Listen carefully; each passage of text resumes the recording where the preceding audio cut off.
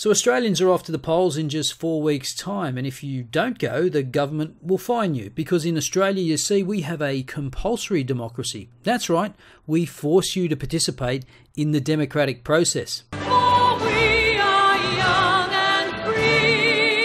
Yeah, not so much. Not free to not vote, are we? Anyway, another quirk of the Australian system is preferential voting. In most other countries, you cast your vote for your party or candidate of choice, and if your candidate or party doesn't get elected, then that's it, your vote is done with. However, in Australia, voters number candidates on the ballot paper in rank order of choice, one next to your first choice, two next to your second, etc. If your first choice candidate is not elected and no candidate receives half of the vote, your vote is re examined for its next preference.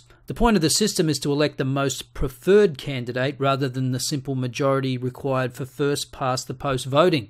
In essence, it means you could come, say, third in the primary vote and still win the seat on preferences, as happened in the seat of Blair in Queensland in 1998.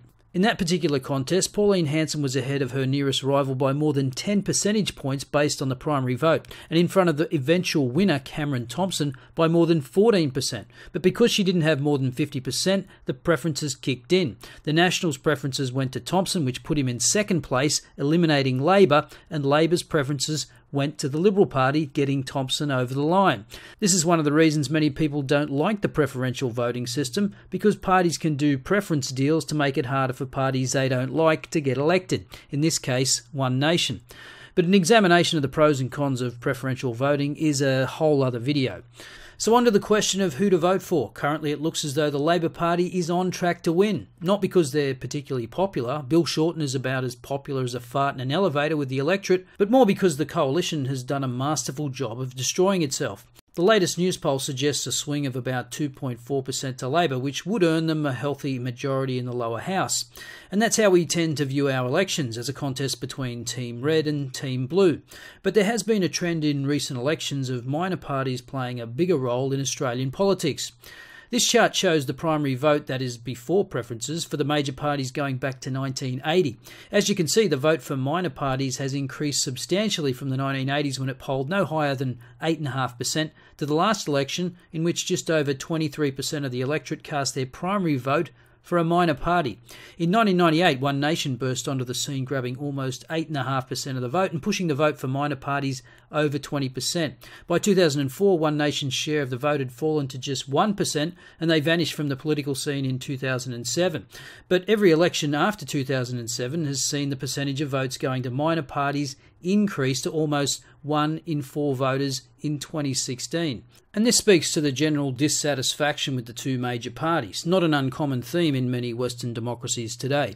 The latest news poll says the primary vote for the coalition and Labor is even at 39% each. The essential poll has the coalition at 38% of the primary vote and Labor at 35. So if we take the midpoint between those two polls, that means something like 24.5% or about one in four voters is thinking of voting for a minor party.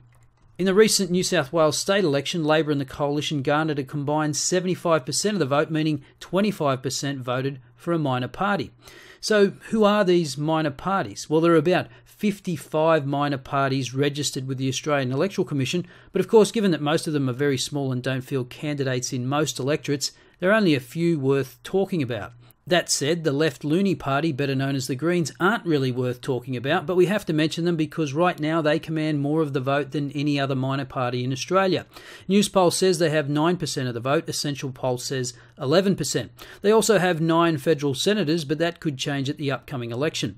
Sarah Hanson Young is one that has an uphill battle to retain her seat which is great news. One Nation has dropped significantly in the polls in the last few weeks, but they still command about 4% of the vote according to Newspoll and about 5% according to Essential. It remains to be seen just how much damage has been done to the One Nation brand after the recent Al Jazeera scandal.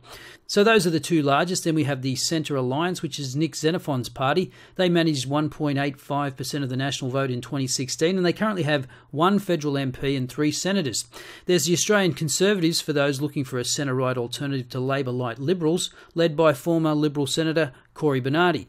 Bernardi is a federal senator, and the Australian Conservatives have three upper house state members in South Australia and Victoria combined.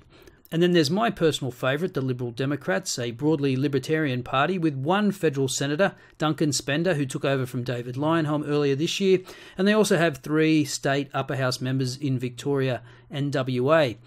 Now, there are plenty of other parties I could have mentioned. Feel free to mention your personal favourite in the comments below. But one objection to voting for minor parties is well, they can't win, so why bother?